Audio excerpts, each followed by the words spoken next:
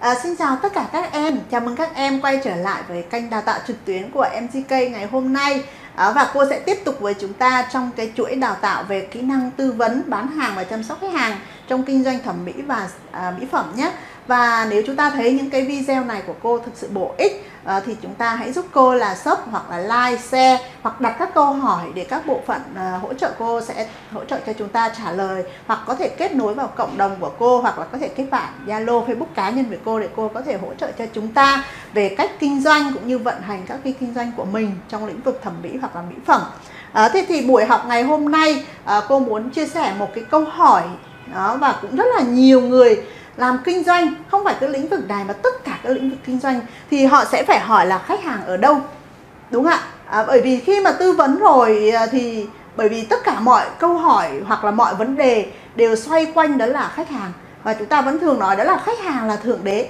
Có nghĩa là sao ạ? Là khách hàng là cái người mang đến doanh thu mang đến tiền. Nhưng mà bản thân chúng ta cũng không biết khách hàng họ đang ở đâu nữa đó họ không không không biết là họ đang ở đâu để chúng ta bởi vì có một cái câu nói đó là nếu khách hàng đang ở đâu thì chúng ta chỉ đến cái đúng nơi mà họ đang ở đó để chúng ta tìm kiếm họ.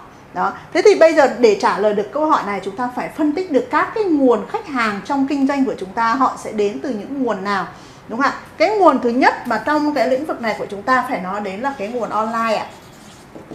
À, đây là một cái nguồn mà được coi là rất là phổ biến và nó được dành khá là nhiều bởi vì hiện nay với cái sự phát triển của 4.0 thì các cái mạng nhất là Facebook, Zalo hoặc các cái Google thì sẽ phát triển rất là mạnh và khách hàng sẽ tìm kiếm thông tin trên đó. Và hiện nay thì tỷ lệ dùng Facebook của Việt Nam như Zalo đi thì rất là nhiều. Ở những cái tầng lớp khác nhau thì đều dùng cái mạng xã hội.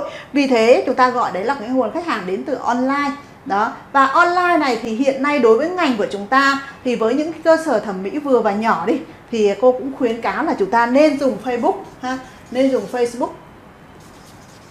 Hoặc có thể thêm là, là cái Zalo. Một số bạn thì đang tiếp tục nhảy vào TikTok hoặc Instagram thì điều đấy rất là tốt. Đó, và hiện nay thì à, có thể nói đến là gần như là 70% cái nguồn khách hàng là đến từ Facebook và Zalo. Bởi vì đây là nguồn online và mang đến cái data trực tiếp nếu chúng ta biết chạy quảng cáo biết xét quảng cáo tối ưu nó thì cái nguồn khách đến từ cái nguồn này nó rất là hiệu quả.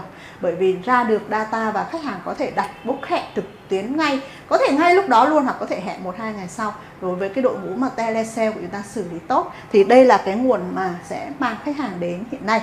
Đó, và để làm được cái nguồn này thì đòi hỏi chúng ta phải có những kiến thức về chạy ad về tối ưu, về hình ảnh, về content thì cô cũng chia sẻ là hiện nay cô cũng đang khai giảng một số lớp liên quan đến những cái lĩnh vực này để có thể gọi là truyền nghề hoặc là truyền cầm tay chỉ việc cho chúng ta biết cách xét quảng cáo để chúng ta có thể tự chạy quảng cáo ở nhà mà không phải thuê mướn bất kỳ một đơn vị bên ngoài nào.